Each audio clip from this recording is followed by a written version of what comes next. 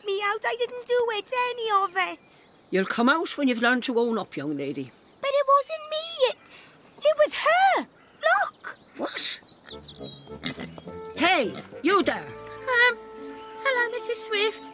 What are you doing in my yard? Um, I just came to say it was me that did all the things you got in trouble for. What? It was you that did. Uh, what?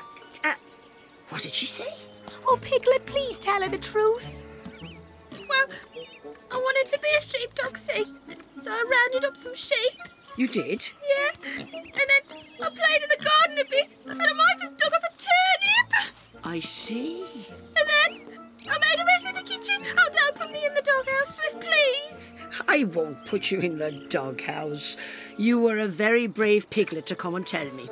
Really? Oh, yes. And fly!